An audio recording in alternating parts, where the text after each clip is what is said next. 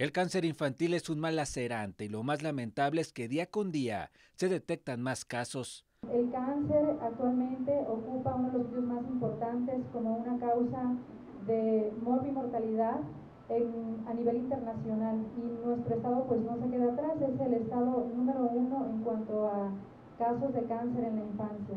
Por esta razón y por segunda ocasión, Raúl Di Blasio ofrecerá un gran concierto en beneficio de los niños del Centro Estatal de Cancerología el próximo primero de junio en el auditorio de la Escuela Normal Veracruzana. La mejor cura para el hombre y el alma es ayudar a los que más lo necesitan. En ese sentido, se los digo en forma directa, que nos da mucho gusto que para este primero de junio el maestro Di Blasio en la Escuela Normal Veracruzana vuelva a combinar el arte del teclado con el apoyo al altruismo.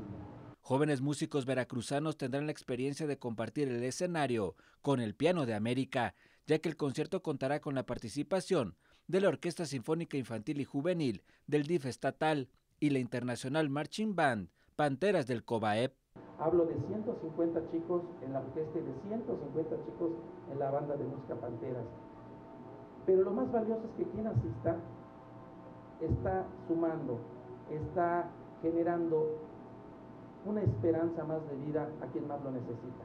Como hace dos años, se espera que lo recaudado en taquilla se utilice en la compra de alimentos y medicamentos especializados para el tratamiento del cáncer infantil. Hugo Garizurieta, más noticias.